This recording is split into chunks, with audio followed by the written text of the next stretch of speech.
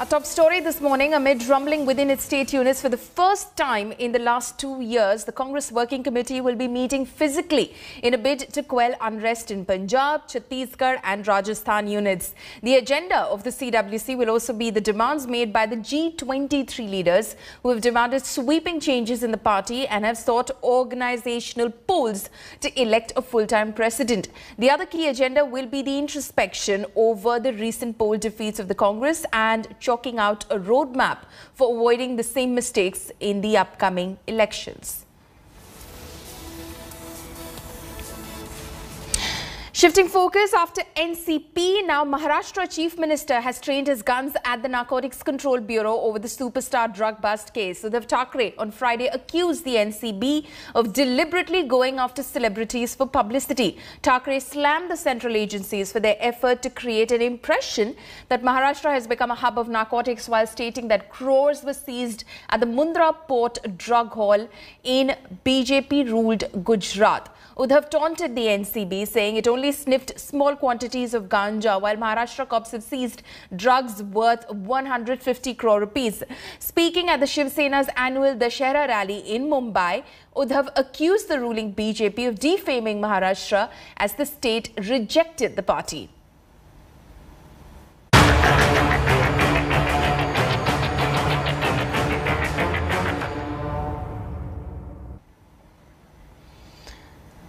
Now, the cops have arrested and accused in the Singhu border murder case after the brutal killing of 35-year-old Lakhbir Singh at Singhu border. The police have arrested accused Sarabjit Singh, who surrendered to the cops and took responsibility of the murder.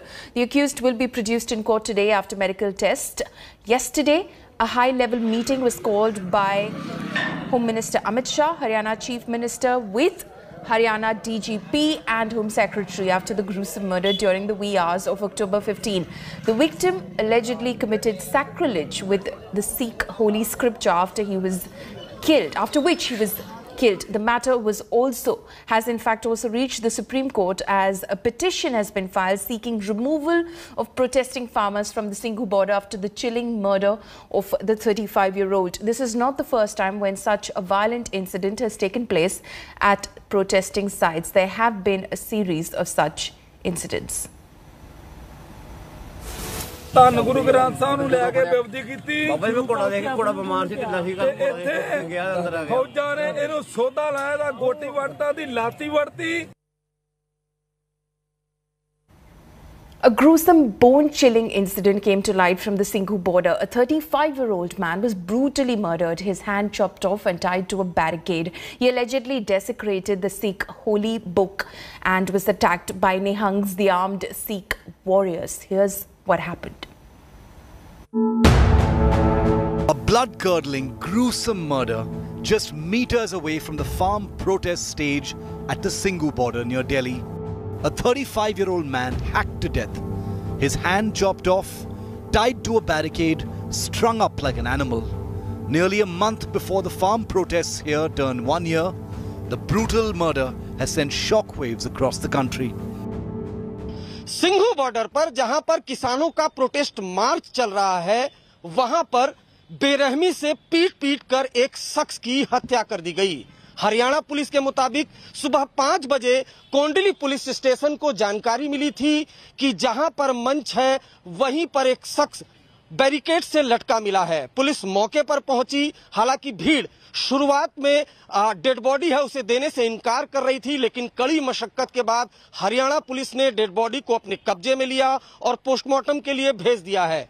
कई तस्वीरें वो सामने आई हैं, जिसमें जो शख्स ज़िंदा था, उसके हाथ कटे हुए थे, वो बुरी तरह से तड़प रहा था, लोग उसका वीडियो बना रहे थे. The victim was surrounded by Nihangs, busy capturing the murder. The victim, severely injured and barely alive, but is heard replying to the Nihangs. And just moments later, he's taken and strung up on a barricade as a display. According to the police, a preliminary probe suggests Nihang Sikhs, a warrior group, allegedly killed him on suspicion of disrespecting the Sikh holy book. ਧੰਨ ਗੁਰੂ ਗ੍ਰੰਥ ਸਾਹਿਬ ਨੂੰ ਲੈ ਕੇ ਬੇਵਦੀ ਕੀਤੀ ਬਾਬਾ ਜੀ ਮੈਂ ਘੋੜਾ ਦੇਖ ਕੇ ਘੋੜਾ ਬਿਮਾਰ ਸੀ ਢਿੱਲਾ ਸੀ ਤੇ ਇੱਥੇ ਗਿਆ ਅੰਦਰ ਆ ਗਿਆ ਫੌਜਾਂ ਨੇ ਇਹਨੂੰ ਸੋਧਾ ਲਾਇਆ ਦਾ ਗੋਟੀ ਵੜਤਾ ਦੀ ਲਾਤੀ ਵੜਤੀ हम भी सोशल मीडिया को भी हम रेफर कर रहे हैं और बाकी जो इंटेलिजेंस इनपुट्स हो रहे हैं अ, बाकी जो फिजिकल साक्ष्य हमको मिल रहे हैं उनके हिसाब से हम तफ्तीश करेंगे एक्यूज को हम पकड़ रहे हैं सीन ऑफ क्राइम में का हमने वो इंस्पेक्शन किया है हथियारों के लिए भी हमारी तलाश जारी है The Samyukt Kisan Morcha has run for cover, distancing itself from the incident and squarely blaming the Nehangs for the murder. Police प्रशासन जाँच कर रहा संयुक्त मोर्चे ने बयान जारी कर दिया। हमारा इससे कोई और नहीं जिसने हत्या करी। मिल जाएगा। प्रशासन पुलिस की हर कानून सम्मत बात में हम समर्थन करेंगे।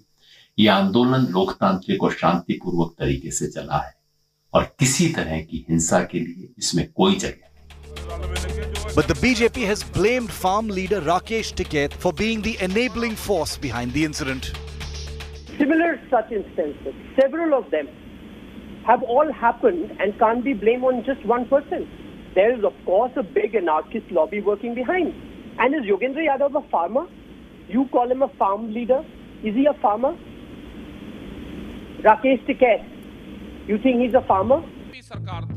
Remember, Rakesh Tiketh at India Today's conclave refused to condemn the Lakhimpur lynchings of BJP workers, providing an action reaction justification for the violence. Intention हत्या करी गई है या हत्या हुई है हालात क्या है वो देश का कानून बताएगा जो लोग गाड़ी से कुचल के 20-40 लोगों को लेकर आ रहा है वो गाड़ी में पकड़ा गया भीड़ ने क्या कर दिया होगा उसको आप हत्या नहीं कह सकते The victim at the Singhu border has been identified as 35 year old Lakhbir Singh, a resident of the Chima Kalan village in Punjab's Tarn Taran district. With this gruesome murder, the situation remains tense at the Singhu border, but the big question is will the murderers be brought to book? And will the enablers be identified as well? Also, what next for the farm protests? With Arvind Ojha at the Singhu border, Bureau Report, India Today. A car in Chhattisgarh rammed into a procession headed for Durga immersion. The incident resulted in the death of one and has injured 16 more. The arrested suspects are allegedly cannabis smugglers. Here's more on that story.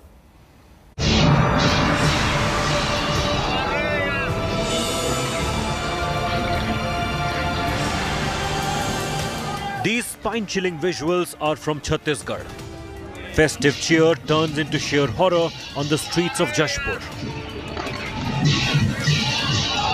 An SUV rammed into a Durga Puja procession, killing one and leaving 17 injured. The police have arrested two suspects 21 year old Bablu Vishwakarma and 26 year old Shishupal Sahu. The suspects are allegedly cannabis smugglers.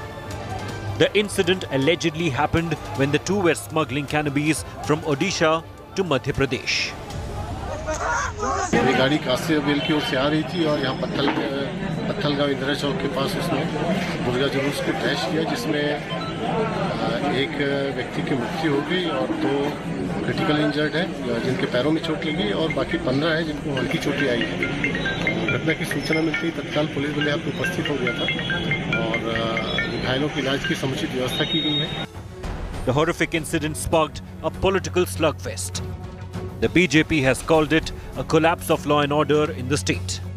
ये सीधा सीधा लापरवाही है और इस प्रकार असामाजिक तत्वों का हौसला छत्तीसगढ़ में दिन ब दिन बढ़ता जा रहा है कि असामाजिक तत्व किस हौसले के साथ भीड़ को कुचल सकते हैं इसका उदाहरण देखने को मिल रहा है मुझे लगता है कि इस पूरे घटना में मुख्यमंत्री को तत्काल संज्ञान लेना चाहिए। Chhattisgarh CM Bhupesh Baghel call the incident heartbreaking the CM assured the guilty will be punished he claimed action is also being taken against cops accused of laxity bureau report India Today The legacy war for Jayalalitha is back in Tamil Nadu. Sasikala is planning her comeback into politics. Chinnamma will visit Jayalalitha's memorial at the Marina Beach today. Her first visit to the memorial after release from prison. She also plans to visit party founder M.G. Ramachandran's residence on October 17 and initiate a state tour to visit various party functionaries.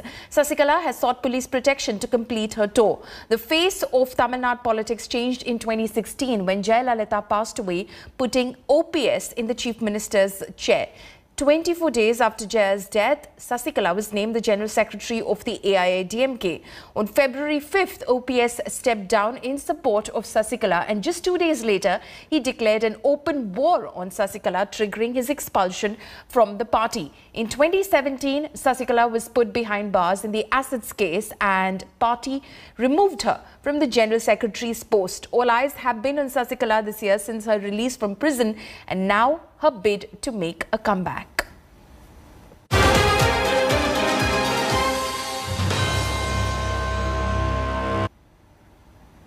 Two Bollywood divas and their twisted links in a 200 crore rupees money laundering scandal.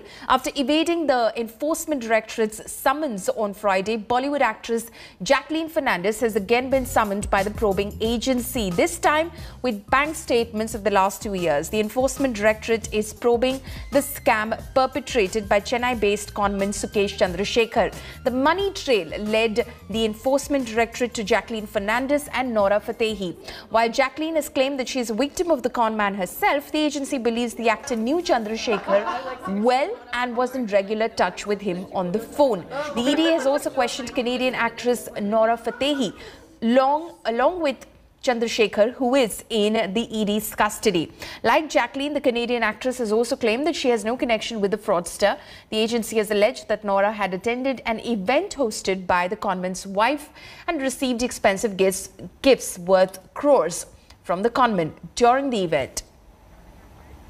Welcome back. Yet another IPL title for the Chennai Super Kings. MS Dhoni's men were a little too strong for KKR in the grand finale in Dubai. With this championship victory, CSK also reduced the title deficit with the Mumbai Indians to just one. Here's a reminder of how the men in yellow won the title showdown. Congratulations to him and the whole Chennai Super Kings franchise. Mahendra Singh Dhoni and his men in yellow have done it again. They talk about experience. They added a sprinkling of youth. Chennai Super Kings are the IPL champions and for the fourth time. You can see that. Yeah, jump it. Jump it. 2010, 2011, 2018 and now 2021.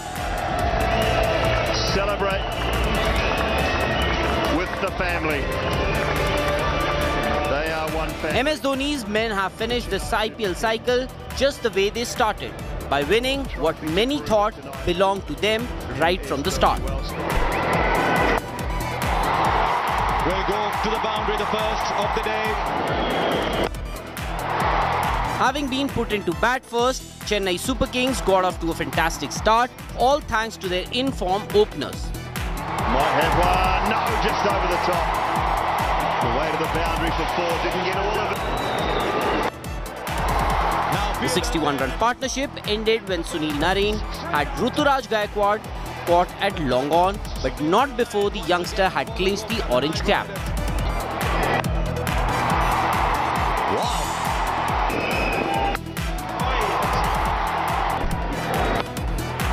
Robin Uthappa gave Faf du Plessis good company at the other end, striking some massive blows as Chennai marched on. Brilliant. Faf who had a reprieve from Dinesh Karthik very early in his innings, brought all his big match experience into play and raced to his sixth 50 of just 35 deliveries. Standing innings in a big final. And he done. After Uthappa, Moeen Ali wreaked havoc on the KKR bowlers along with Faf. He goes offside and Moeen Ali gets a free hit. There's runs. CSK kept piling on the runs and 200 looked like a possibility, but CSK finished at 192 for 3 with Faf the last man out for 86. As he so customarily does. KKR openers two started with. And he finds the gap. That is a great. A couple of drop catches from MS Dhoni did aid KKR's cause as they raced to 55 for no loss in power play. The ball's playing games with MS Dhoni today.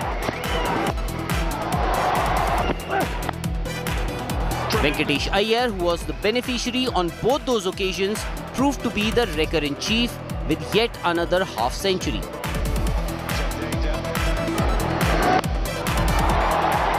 Shubman Gill looking to go big as well. Just when Jadeja thought he had broken the partnership, replay showed that the catch was taken after the ball had struck a wire up in the sky. Shubman Gill survived, with the delivery being deemed a dead ball. Looked like into his role. KKR finally ran out of luck with Shardul Thakur striking twice in the same over. There's another.